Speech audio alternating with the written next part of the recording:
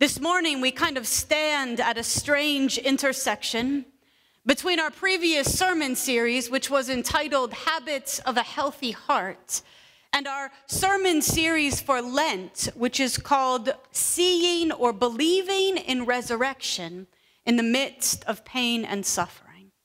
And today is Communion Sunday. As United Methodists, like many typical United Methodist traditions, we celebrate communion on the first Sunday of the month. And so I want to spend a little bit of time talking about how communion, the sacrament of Holy Communion, is one of those places in which we encounter resurrection in the midst of pain and suffering and how the sacrament of Holy Communion is one of those ways in which you and I are invited as many times as we partake to eat of this living bread that Christ has promised. The United Methodist understanding of Holy Communion describes it as this holy mystery. So I want to begin by asking you in your own faith journeys, when have you experienced the mystery of God? When have you experienced the mystery of God? A moment when you knew that it was God at work. You could not explain in any other way the sequence of events that happened, and you knew that it was something beyond your doing. When have you experienced the mystery of God? When have you stood before God in God's holy presence and known beyond a shadow of a doubt that God is holy? Raise your hand if you can call to mind a time that that happened. A holy or mysterious experience of God. One of the things that is important in this faith journey of ours is that we can become so focused on the things that we need to do in order to grow in faith and lose sight of the fact that we are not following a program, but a person. We are following a living God who laid down his life in such a way that you and I would not only know, but that we would experience the love of Christ in a profound and personal way. You have ever watched someone transition from this life to the next life. There is a holy, mysterious place in which God works. If you have ever been on your knees at the end of all that you knew and finally let go enough to let God hold you, you may have experienced this holy mystery of God. If you have ever been quiet long enough to hear voices other than those around you, you may have encountered the holy mystery of God. If you've ever worshiped, not with a song, but with a heart so poured out before God that you have let go of what has held you back and allowed yourself to be enveloped in the fragrance of God. You have felt the holy mystery of God. Did you know that that is what we are supposed to experience when we come to that communion table. When we come to the communion table, it is supposed to be a moment in which you and I experience the presence of God in a way that is unlike any other. A promise of God to be present in something as mundane as bread and juice. A promise of God to feed us mind, body, and spirit. The United Methodist Church, or the Wesleyan tradition of which we are a part, stands at a very strange place in the landscape of faith. And if you've been a part of Methodist community long enough, you've felt these tensions.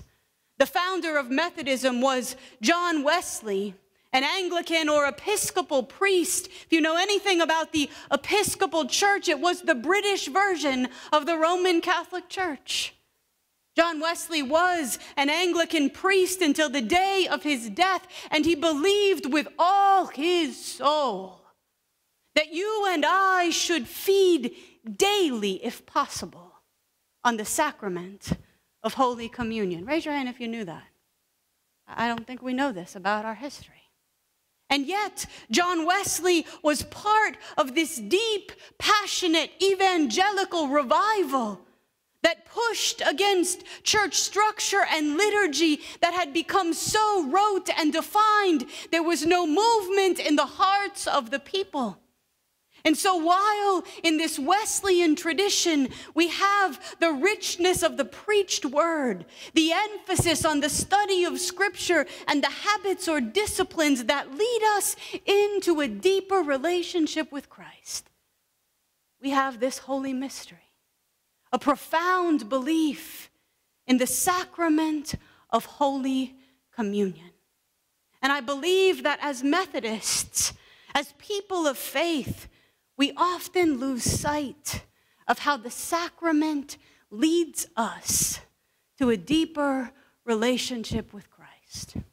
I want you to take out your sermon outlines for this morning. And we're going to take a moment and look at the results of your self disclosure over the last couple of weeks. 116 persons at Epworth responded to the little green paper surveys or the online survey that we had. And keep in mind, these are habits or practices in faith that we believe will help you grow personally in your relationship with God. Have you invited a friend to church in the last year? Of the 116 of you at Epworth who responded, 44 of you said, Yes, you've invited someone. This doesn't mean have they come, you've just invited. 56 of you said, No. I'm not at the place yet where I would invite somebody else to come to church. The practice of inviting and extending your faith to another actually builds the muscle of faith in such a way that God is at work. Have you engaged in daily study of the Bible or prayer? 71.6% of you said yes. 28.4% of you said no. That daily feeding on the Word and the presence of God are you willing to share a story of personal change that could be shared with the larger congregation? 53% of you said no, thank you. 46.6% of you said yes, even though you knew I couldn't ask you. So it made it safer to say yes, right? When asked if you were growing towards tithing, giving 10% of your annual earnings to God, 72% of you said yes, 27.8 said no. And when asked if you're serving in ministry at Epworth, 65% of you said yes, 34% said no. And if we were to ask about the sacrament, how many of you come intentionally to receive the body and blood of Christ? Where would those figures be? I want to talk a little bit about what Holy Communion actually is. Jesus is the one who began this. It's part of why we understand it as a sacrament. And Jesus was gathered with his disciples right before Good Friday and Easter, and everybody in Jerusalem was celebrating what meal? Somebody tell me. Passover. And what is Passover? Tell me what happens in Passover. It's a Jewish holiday still celebrated today. Somebody give me a quick version.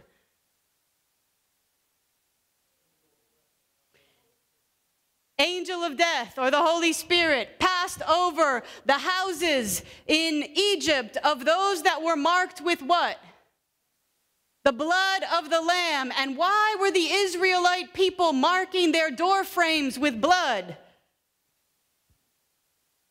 Because they were told in a dream to mark their door frames with blood because the angel of death was sent by God because Moses was coming up against the Pharaoh. You've seen the Disney movie, and Moses was saying, Let my people go.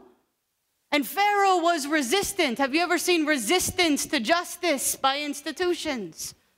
And God will not be detained. And so God got to the point in which this angel of death was visiting even Pharaoh himself and the firstborn males of every home that was not marked with the blood of the lamb were found dead the next morning. But God saved the people of Israel. Have you been saved by the blood of the lamb? Is there a way in which Jesus Christ is for you the sacrificial lamb that takes away the sin of the world? Jesus was gathered that Thursday evening before Good Friday and Easter. All of his disciples were present and they were telling this story of God's goodness.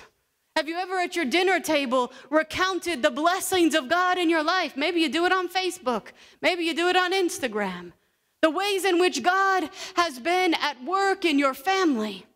And as the disciples told this story of the Passover, at the very end, Jesus said, We got a new thing to do.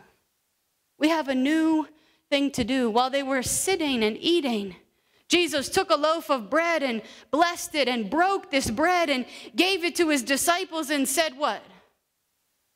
Take and eat. This is my body. Have you ever heard the expression skin in the game? Skin in the game. Don't talk to me unless you've got skin in the game. Don't come criticize unless you're willing to put skin in the game. Skin in the game means that we are willing to put ourselves on the line. God said, I will not only give you skin, I'll give you my whole self. This body broken for you and for me. The disciples were confused. This is not part of the Passover liturgy. The Passover story is about God moving in a community of people. It's not about a one on one relationship with God. And Jesus keeps going. Then he takes a cup and he gives thanks to God and he gives it to them and he says, What? Drink it, all of you. Not just some of you, not just my favorite disciples. Not just the ones who aren't going to betray me or the ones who aren't going to neglect me or reject me, all of you drink it. For this is what? My blood of the covenant. What's a covenant? Covenant is a pact, a promise. Jesus is saying, This is my blood, and this promise that I'm making, it's like blood brothers. It's like blood brothers. I am writing this love story in your life with my blood poured out for just you, for many, it says, for the forgiveness of sins. And I tell you, I will never again drink of this fruit of the vine until the day when I drink it new with you in my Father's kingdom. What does that mean? When you and I get to our Father's kingdom, what are we going to be doing? Cody, what are we going to be doing? You raise your hand? We're going to be having communion. And Cody's going to be at the head of the table if anybody wants to know. Jesus says, This is what we're going to do together.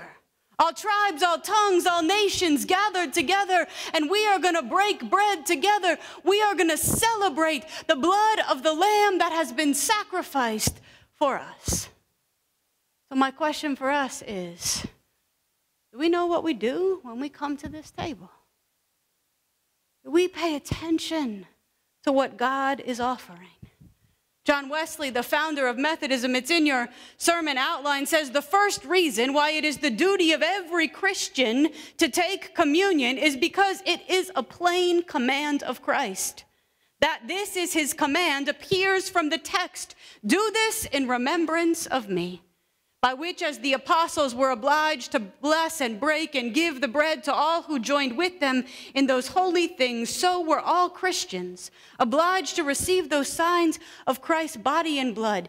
Here, therefore, the bread and wine are commanded to be received in the remembrance of Christ's death to the end of the world. Observe too that this command was given by our Lord when he was just laying down his life for our sakes.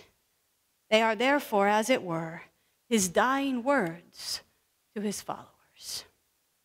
Do this as often as you drink it in remembrance of me. The second thing I want us to consider in these habits of healthy hearts that allow us to see resurrection and death is that communion is a means to strengthen us for the journey. Raise your hand if you have ever been ready to give up on this little faith journey that God's walking you through. Like, I'm done, Lord. Only Paul and I, we're the only one, and, and, and Bella. None of the rest of you want to give up.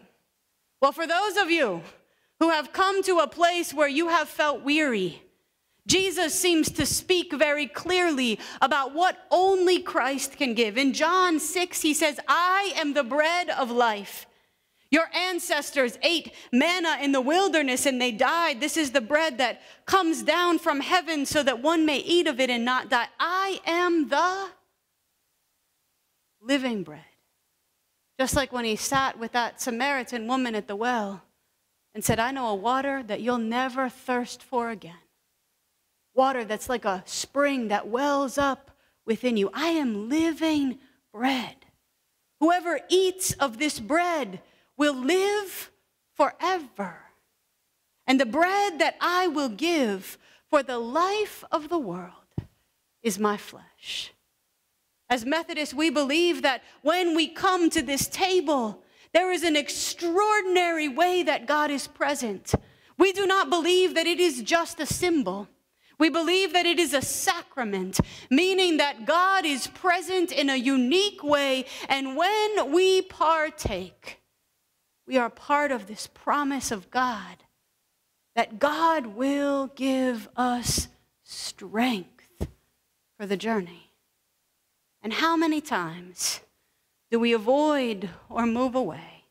John Wesley says, The grace of God given herein confirms to us the pardon of our sins by enabling us to leave them. Do you ever consider, when you come to receive the sacrament of Holy Communion, that you are receiving forgiveness? That you are receiving forgiveness, not generally, but you, in the very place that you most need it. And my question is how many times do we receive this sacrament and get back up off our knees or walk back down the aisle and carry our sin with us? How many of you have struggled to forgive yourself? You carried your sin to the altar and you carried it right back to your seat. Why do we do that?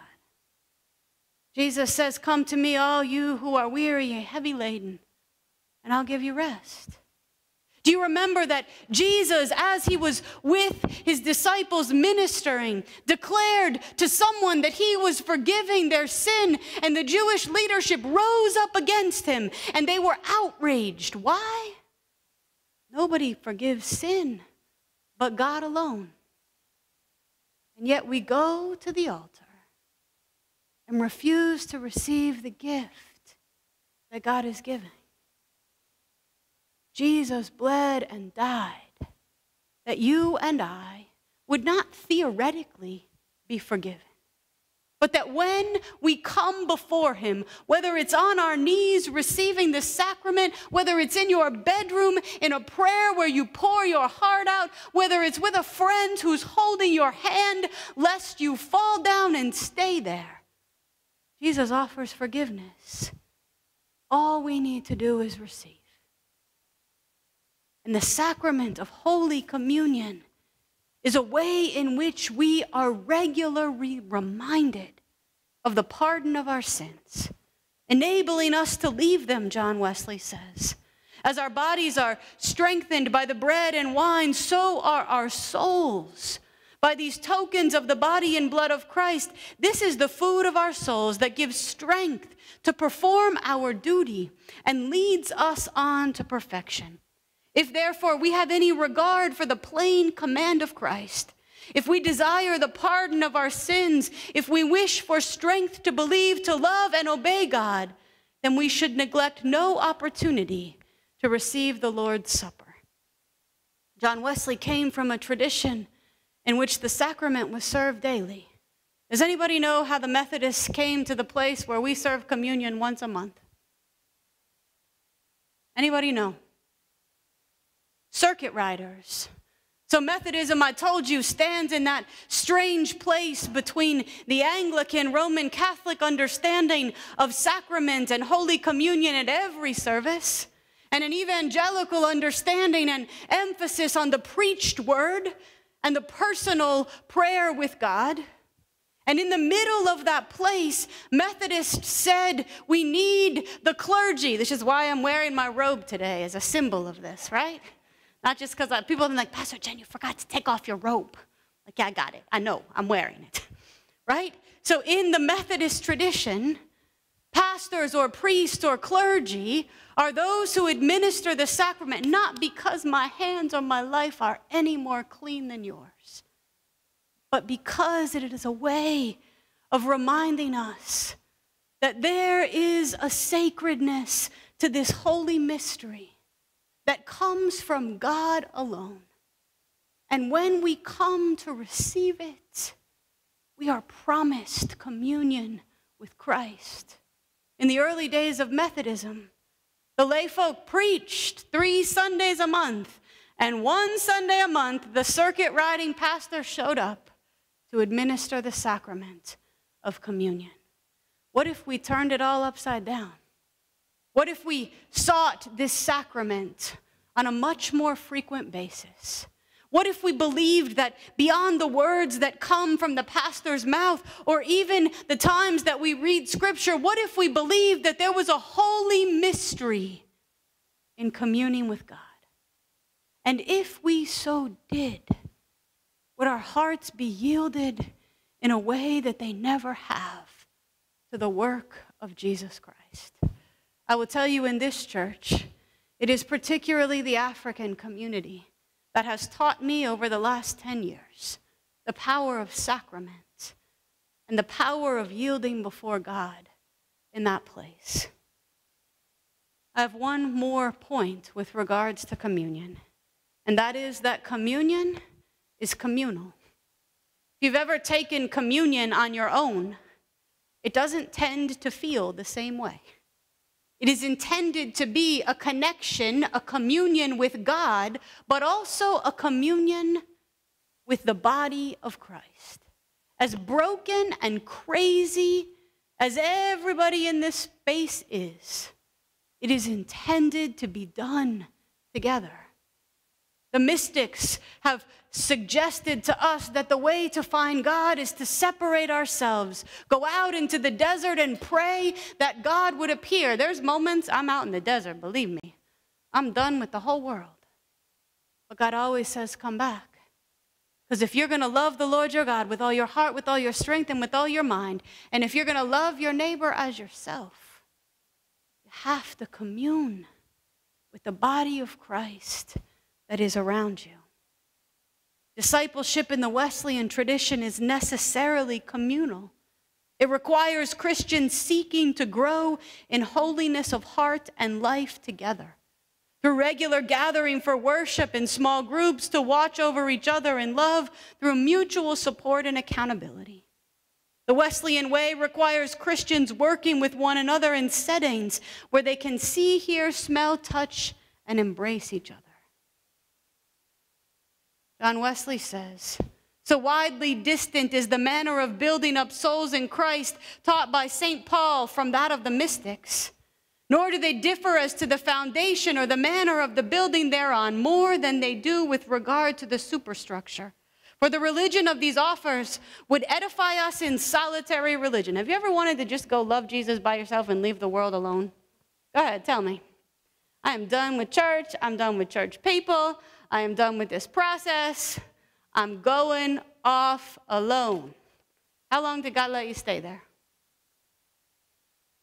Two and a half years, Pastor Tammy says. All right, you can take a two and a half year sabbatical like Pastor Tammy did, and then he'll call you right back. It wasn't pretty. Directly opposite to this is the gospel of Christ, Wesley says. Solitary religion is not found there. The gospel of Christ knows no religion but social, no holiness but social holiness. Faith working by love is the length, breadth, depth, and height of Christian perfection. When you come to this table, there is one body, there is one loaf, and it is broken. And what broke Christ's body? What caused it to be broken on the cross? Sin. The brokenness between us is our own stuff to own.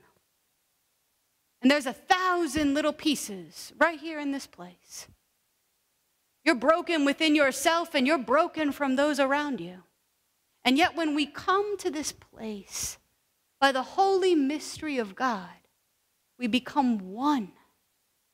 One by the power of Christ that makes us whole the foot of the cross, there is no Jew nor Greek, it says in Romans.